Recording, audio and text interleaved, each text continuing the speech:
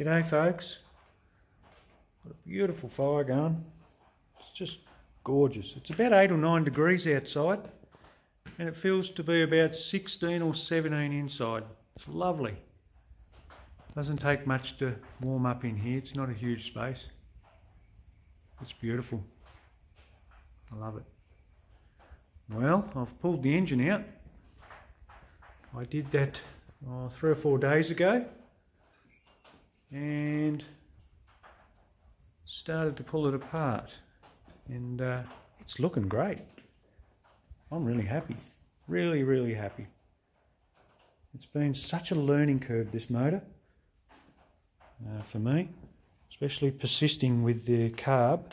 I've had so, so many ups and downs, but uh, I'm really happy with the fueling of it. I'm going to um, confess I did keep a little bit from you guys that uh, I was well I was gonna I was gonna say something when it happened but oh look I was just so deflated at the time and I couldn't just I couldn't bring myself to uh, saying anything but I've had some issues uh, obviously you know about this one a couple of years ago uh, with this piston, number three, this one right here, where I torched it. Now this was pre, uh, this was E85, but pre, pre um, boost reference power valves in the carb. And I was having lean issues on a collective readout of all the cylinders into the single tailpipe uh, back then. But what was happening, I was having terrible time with number three, hence torching the piston, losing compression, pushing the gasket, all that sort of nasty stuff. Then replaced the piston and went on the path of putting in the boost reference power valves, fattening it up, then pushed the gasket. Then realised after that, well, obviously we struck a little bit of detonation, and then I got a um, air fuel ratio gauge hooked up to this primary pipe, and I thought, well, this is my problem one, and from that point on, I would tune from that only, and we ended up running seven jet sizes up on this rear corner, the rear corner here, to compensate for the, if you can see it, we got there? We've got a 77 and we got there? I can see that one. Come On focus.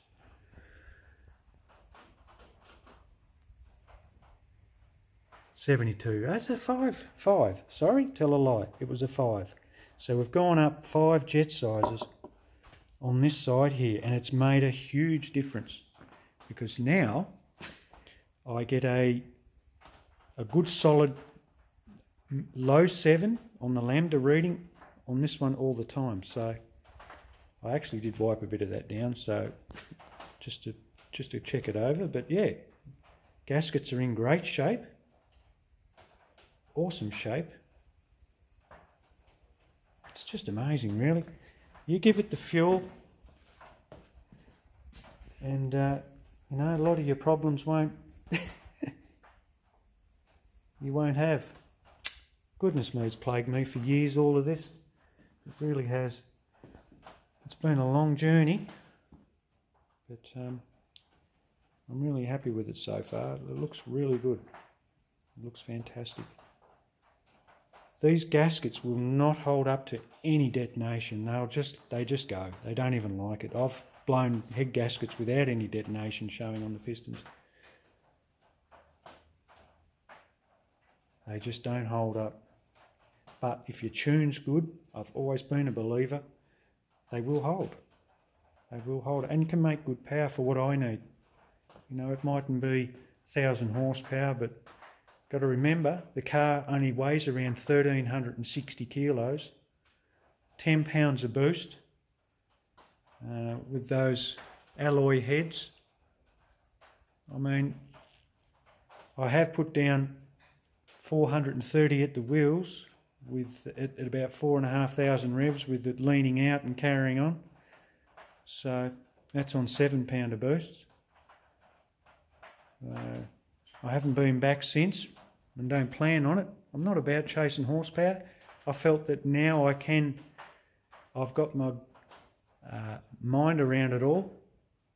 As far as the tune goes, I run around 21 degrees total uh, on 10 psi with around a solid low sevens, high sixes at times uh, under wide open throttle. And it's there's no popping, no banging, no carry on, no gaskets getting pushed out. It's as happy as anything. It's just bloody great. It's awesome. Let's flip it over and have a little look underneath. I did check, and there was another concern. Oh, hang on, guys. I'll just stop for a sec. Um, I did check the thrust on this because I did years ago. I've had thrust issues, which was caused by the transmission. that was my fault again. On the cooler lines were too small, which in turn created a restriction through the transcooler, which made which pushed the converter forward. Too much um, per, too much pressure on the converter, and it was just pushing forward and wiped out the. Uh, that was on the other crank. I, I had another crank same as this, and wiped it out. But since then, uh, improved the oil, the transmission cooler lines, and I monitor it. I've got a gauge, and this thing here is just perfect. 7 thou, and it's amazing because it hasn't moved uh, since, oh well, I don't know what year that was, but I did a check, oh, I think it was about a year or two ago, and it was no change. So that's perfect. It's awesome to know that we're not wiping out any more cranks in the meantime, but it's looking fantastic under here so far. It's nice and clean and there's no there was no material in the bottom of the sump. Uh, everything seems seems good. Run a little pair a little locking nut on there for my oil pickup. That's my little modified pickup you can see there.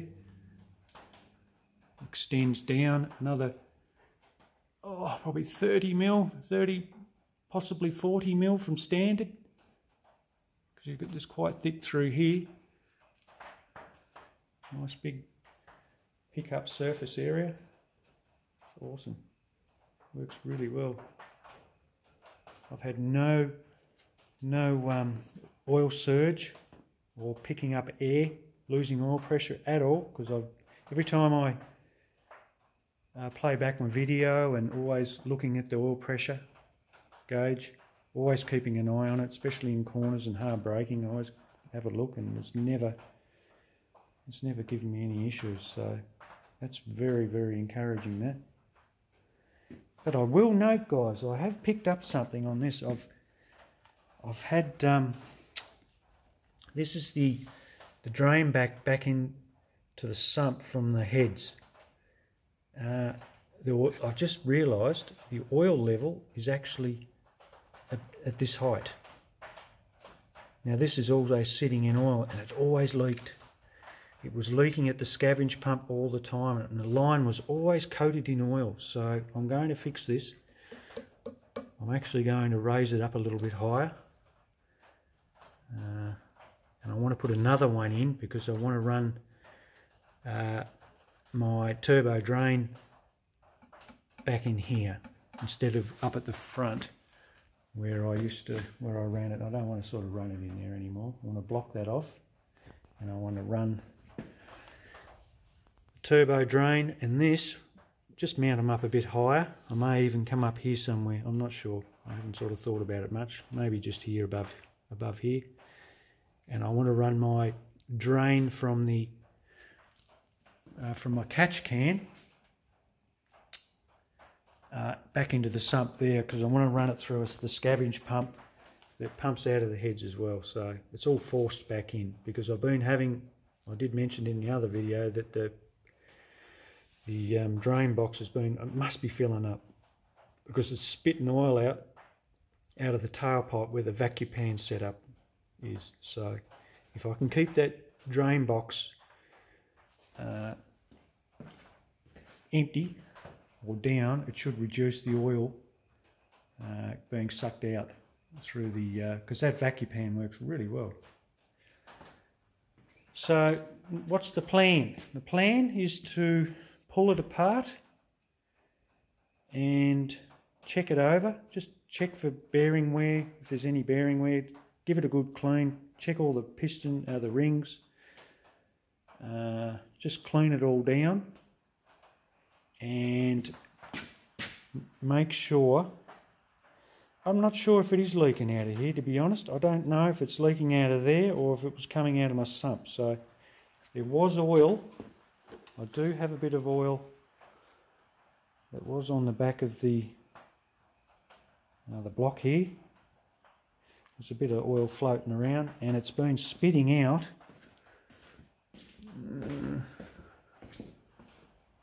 on my header pipes too. So it's been a bit of a smoke show there for a bit. So I've got to sort of fix it. I want to put a new, I'll put a new Neo seal in it. It's not a rope, it's a Neo. This is an early, this must be the early, early blocks. So, yeah.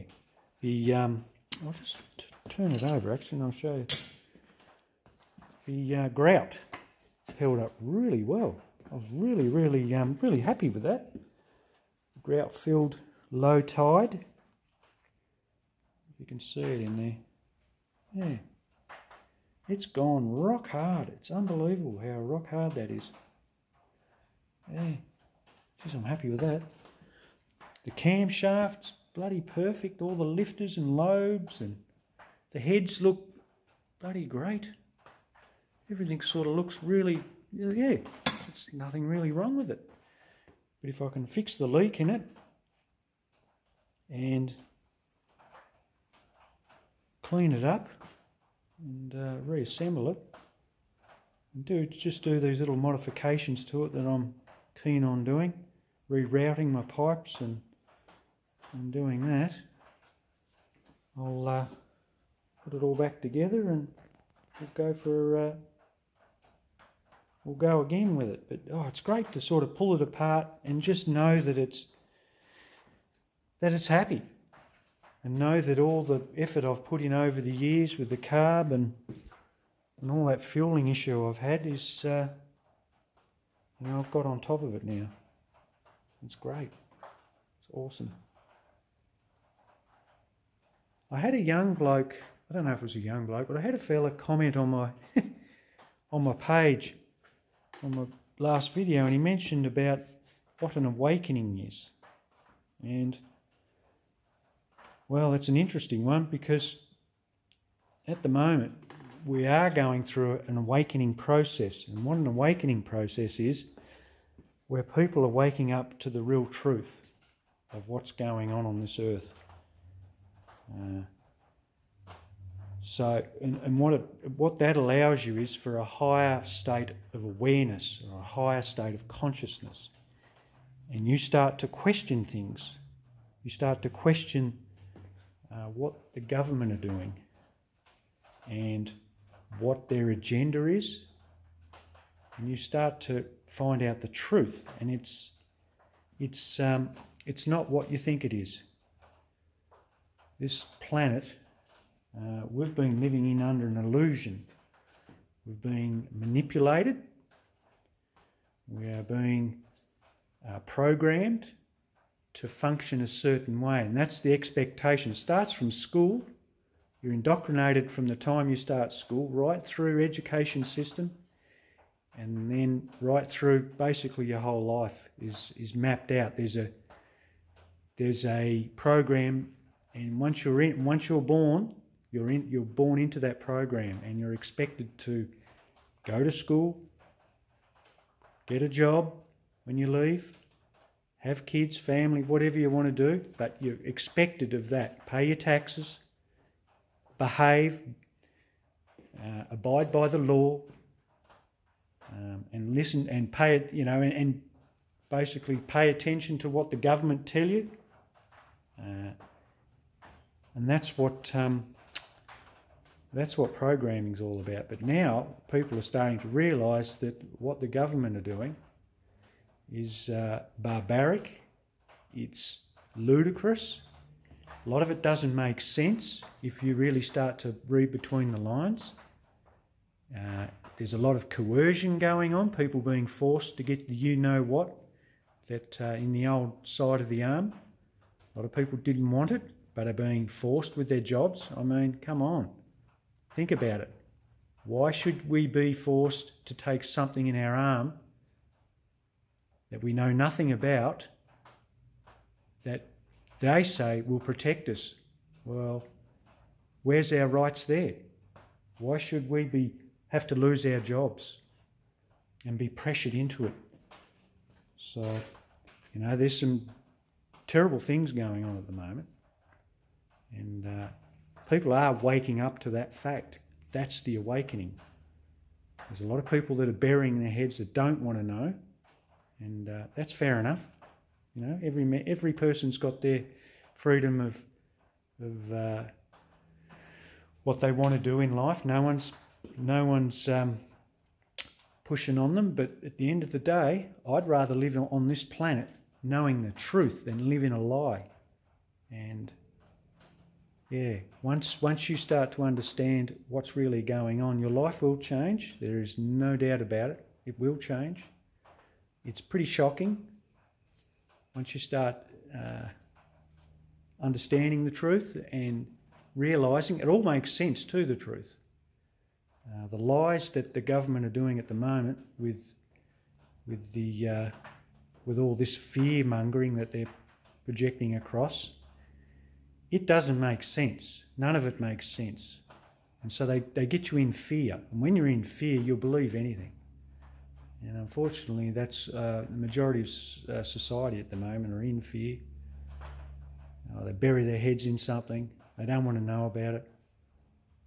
And unfortunately, they're really missing an opportunity to waken up to their true self. Because once you start to understand the truth of what's what uh, this reality is all about, you, you, you just get this higher awareness come in, and all of a sudden, you, the layers of uh, the, the facade, well, the layers of lies just start to peel away, and you feel like you're just being you're being set free. That's how I feel. I feel I feel like I've been set free, uh, just knowing what I've known. And um, you know, I haven't. I'm not jabbed. I've I was was never going to have it. I'm not an anti-jabber either. I uh, I've had bloody Ormavac, friggin' you know you know what's in the arms my whole life. Tetanus shots when I stood on nails when I was building and all that. But for some reason, when this one rolled out, I just I felt no, hang on a minute, they're pushing this too too far. I've, what's going on here? I, I just stood stood back a bit, and I did a bit of research. And my God, as soon as I did that, I I thought, wow.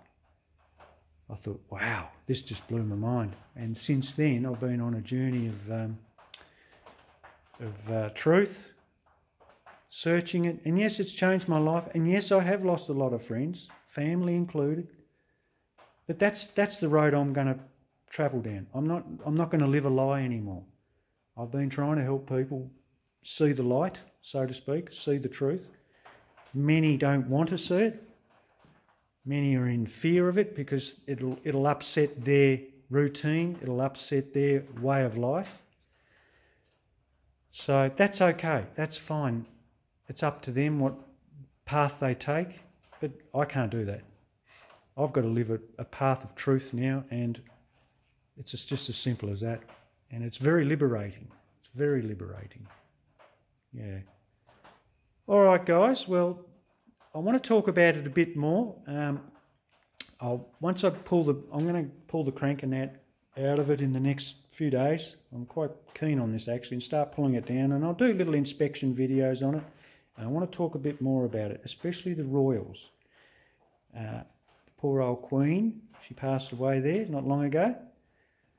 Well, she's not what you think she is. Um, that's all I'm going to say. She's uh, really, um, she fooled us all. I must admit, I only found this out a couple of years ago myself, but she's had us all fooled. The whole royals have had us all fooled. The government have had us all fooled. A lot of celebrities, all the elites, anyone with big, big money that's all caught up in the in the um, establishment. So, yeah, they've had us all fooled the whole time. There's been another agenda running, and it's it's not been real pretty. It's been very, so I say, well, evil is the right word. All right, guys. Well, it's looking good. This I'm very happy with it so far. So I'll um, put a vid up very soon when I, uh, like I said, when I get moving on. Sorry it wasn't sooner, but I just got busy. I just couldn't get the engine out when I wanted to get time on it. All right, guys. Looks like my battery's going flat. I'll put